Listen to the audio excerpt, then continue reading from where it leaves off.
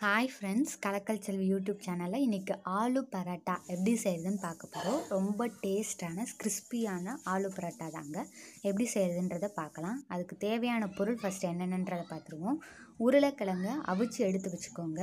அதுக்கப்புறமா கோதுமை மாவு சப்பாத்தி செய்கிறதுக்கு அது தேவை. அதுக்கப்புறம் மல்லிச்செடி புதினா வெங்காயம் மிளகாய் இதை வந்து கட் பண்ணி வச்சுருக்குறோங்க. இது மத் இது மட்டும்தான் தேவையான பொருள். உருளைக்கிழங்குல பிடிக்காதவங்க யாருமே கிடையாது. ஸோ அதை வச்சு ரொம்ப ஈஸியான ப்ரிப்பரேஷனாக இதை பண்ண போகிறோம் மாவை நல்லா பிசைஞ்சு வச்சுருக்கோம். மாவில் உப்பு எண்ணெய் ஊற்றி தேவையான அளவு தண்ணி ஊற்றி நல்லா பிசைஞ்சு வச்சுருக்கோம். சப்பாத்தி பதத்துக்கு பிசைஞ்சாச்சு.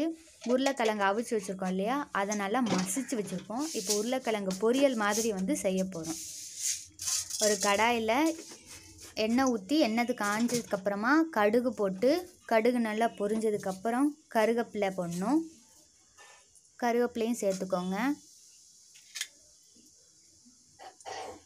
அதுக்கப்புறம் புதினா மல்லிச்செடி நறுக்கி வச்சுருந்தோம் இல்லையா? அதையும் அது கூட மிக்ஸ் பண்ணணும். நல்லா மிக்ஸ் பண்ணி வதக்குங்க. நல்லா வதக்கி விட்டுக்கோங்க.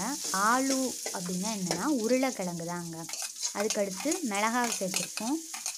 அதுக்கடுத்து வெங்காயத்தையும் இது கூட சேர்க்க அதையும் நல்லா வதக்கினதுக்கப்புறம்.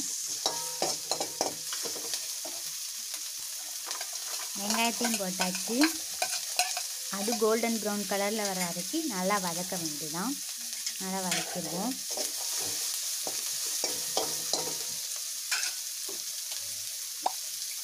அதுக்கப்புறமா மஞ்சத்தூள் அப்புறம் உங்களுக்கு எவ்வளோ காரம் தேவையோ அந்த காரத்துக்கு ஏற்ற மாதிரி மிளகாத்தூள் சேர்த்துக்கோங்க.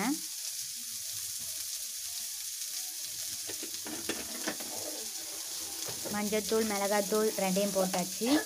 அதுக்கப்புறமா ஜீரகத்தூளையும் மிக்ஸ் பண்ணுறோம் இதில். ஜீரகத்தூளையும் ஆட் பண்ணிக்கோங்க இது கூட.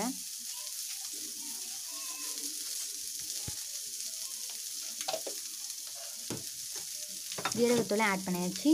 லாஸ்ட்டாக நம்ம இன்னும் உப்பு ஆட் பண்ணல? ஸோ உப்பு ஆட் பண்ணிடுறோம். அவ்வளோதாங்க இப்போ இது எல்லாத்தையும் நல்லா மிக்ஸ் அது எல்லாத்தையும் நல்லா மிக்ஸ் பண்ணணும். உருளைக்கிழங்கு தான் ஹிந்தியில் ஆளுங்கிற பேர். உருளைக்கிழங்குல நிறையா பெனிஃபிட்ஸ் இருக்குது உருளைக்கிழங்கு பிடிக்காதவங்க யாருமே கிடையாது. உருளைக்கிழங்குல விட்டமின் சி பி இதெல்லாம் இருக்குது விட்டமின் சிலாம் ரொம்ப பிள்ளைங்களுக்கு தேவை. அதுக்காக நம்ம ஆரஞ்சு அந்த மாதிரிலாம் கொடுப்போம். உருளைக்கிழங்கு எல்லாருக்குமே பிடிக்கும். ஸோ உருளைக்கிழங்கே நீங்கள் கொடுக்கலாம் பிள்ளைங்களுக்கு எல்லாருக்குமே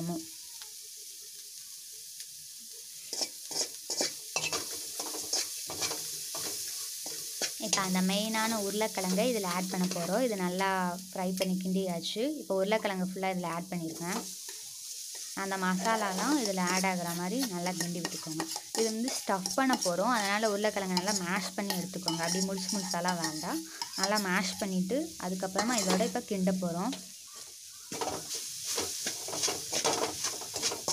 கிண்டும் போதே நல்லா மிக்ஸ் பண்ணி கிண்டுங்க. நல்லா அமைக்கி விட்டு கிண்டிக்கோங்க. ஃபுல்லாக மசாலாலாம் அதில் இறங்குற மாதிரி கிண்டிக்கோங்க. இது ரெடி ஆகிடுச்சு ஆல்மோஸ்ட் ஃபுல்லாக ரெடி ஆனதுக்கப்புறமா கொஞ்சம் நேரம் இது வந்து ஆறட்டும். அப்போ தான் நம்மளால் உருட்ட முடியும். ஸோ சூடாக உருட்ட முடியாதுங்கிறனால கொஞ்சம் நேரம் இதை ஆற வச்சு அதுக்கப்புறமா தான் இது உருட்டணும். இது நல்லா மிக்ஸ் ஆகி ரெடி ஆயிடுச்சு.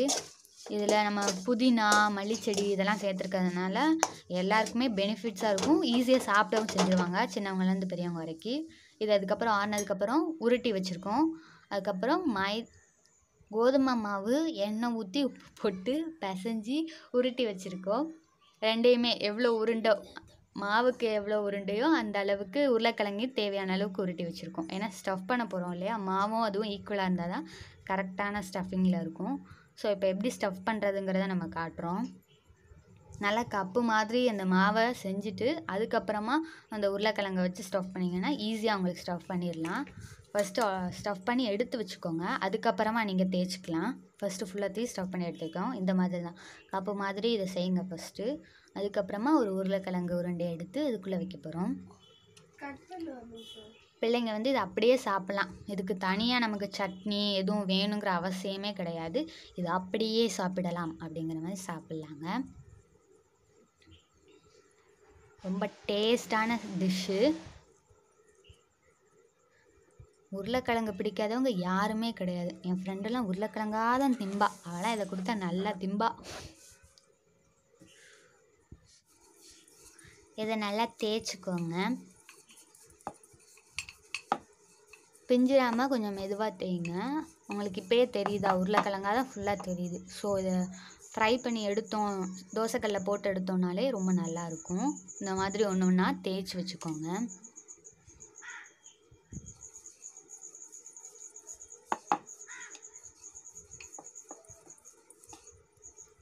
ஸ்டஃபிங்ஸ் ஓவராக வெளியே போயிடாமலும் பார்த்து மெதுவாக தேய்ங்க. எண்ணெய் ஊற்றி தேய்ச்சிங்கன்னா ரொம்ப நல்லாயிருக்கும் நல்லெண்ணெய் யூஸ் பண்ணுங்கள்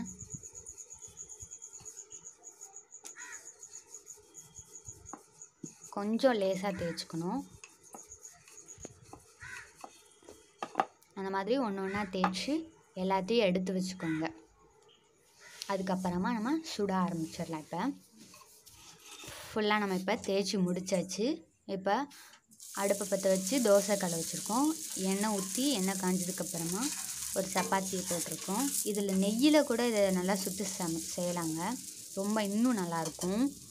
நம்ம நல்லெண்ணெய் ஊற்றி தான் செய்கிறோம். நீங்கள் உங்களுக்கு நெய் பிடிக்கும் அப்படி.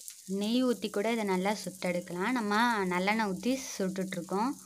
நல்லா வேகட்டும். ரெண்டு பக்கமுமே கோல்டன் ப்ரௌன் கலரில் வர வரைக்கும் வெயிட் பண்ணி ஒன்று ஒன்று திருப்பி போட்டு எடுங்க. ஸ்லோ ஃப்ளேம்லேயே வச்சு இதை செய்யுங்க. ரொம்ப ஹை ஃப்ளேம்லேயே வைக்க வேணாம். இந்த மாதிரி செஞ்சு கொடுத்தீங்கன்னா உங்கள் பிள்ளைங்க ஒரு சப்பாத்தி தான் சாப்பிட்றாங்க அப்படின்னு ஃபீல் பண்ணாதீங்க. இந்த மாதிரி செஞ்சீங்கன்னா உங்கள் பிள்ளைங்க ஒன்றுக்கு மூணாக சாப்பிடுவாங்க. இதுக்கு நீங்கள் தனியாக சட்னிலாம் அரைக்கணும்னு அவசியமே கிடையாது. ஸ்நாக்ஸ் மாதிரி கூட இதை பிள்ளைங்களுக்கு நீங்கள் கொடுக்கலாம். ஈவினிங் வந்ததும் கொடுத்தீங்க அப்படின்னா என்ஜாய் பண்ணி சாப்பிடுவாங்க. நல்லா கோல்டன் ப்ரௌன் கலரில் வரட்டும். நல்லா பொறுமையாக வெயிட் பண்ணியே சொல்லுங்கள் பிஞ்சிராமலும் கொஞ்சம் பார்த்துக்கோங்க.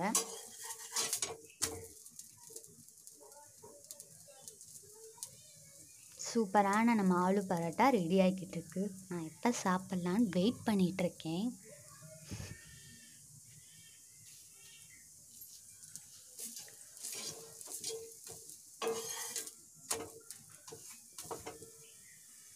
நல்லா கோல்டன் ப்ரௌன் கலரில் வந்துருச்சு. பார்த்தீங்களா ஒரு பக்கம்? அதுக்கப்புறம் இன்னொரு பக்கம் பெரட்டி போட்டிருக்கோம். அதுவும் நல்லா வந்ததுக்கப்புறம் எடுத்தாச்சு. எனக்கு வந்து ஒன்று பத்தாதுங்கிறதுனால இன்னொன்று நான் கேட்டிருக்கேன். எண்ணெய் ஊற்றிட்டு அதுக்கப்புறமா சப்பாத்தி போடுங்க. மெதுவாக எடுத்து போடுங்க. ஏன்னா ரொம்ப சாஃப்டாக இருக்குது உருளைக்கிழங்குலாம் நம்ம அதில் வச்சு இது பண்ணியிருக்கிறதுனால.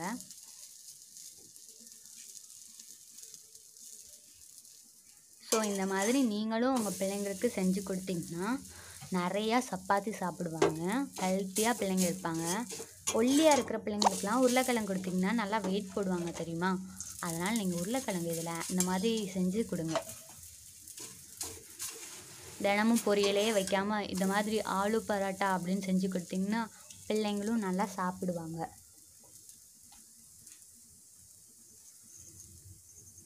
ஒன்றுக்கு ரெண்டா ரெண்டுக்கு மூணா சாப்பிட்ற பிள்ளைங்களாம் நல்லா சாப்பிடுவாங்க. இந்த மாதிரி செஞ்சு கொடுத்தீங்கன்னா. ரொம்ப கம்மியாக சாப்பிட்ற பிள்ளைங்களாம் இந்த மாதிரி கொடுத்தீங்கன்னா நல்லா சாப்பிடுவாங்க. கோல்டன் ப்ரௌன் கலரில் வந்துருச்சு. இப்போ எனக்கு சாப்பிட ரெடி ஆயிடுச்சுங்க.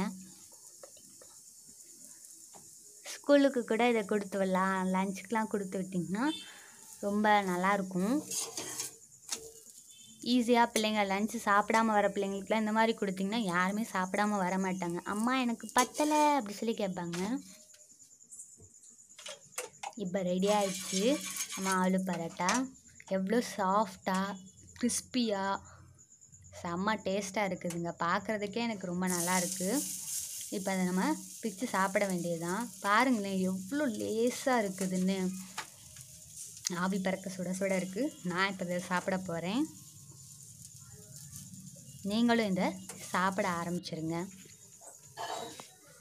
இந்த மாதிரியான ஆலு பரோட்டாவை நீங்களும் செஞ்சு கொடுங்க. இந்த வீடியோ உங்களுக்கு பிடிச்சிருந்தா மறக்காமல் லைக் பண்ணுங்கள் ஷேர் பண்ணுங்கள் கமெண்ட் பண்ணுங்கள் சப்ஸ்கிரைப் பண்ணுங்கள் பக்கத்தில் இருக்க பெல் ஐக்கானை கிளிக் பண்ணுங்கள் தேங்க்யூ ஃப்ரெண்ட்ஸ்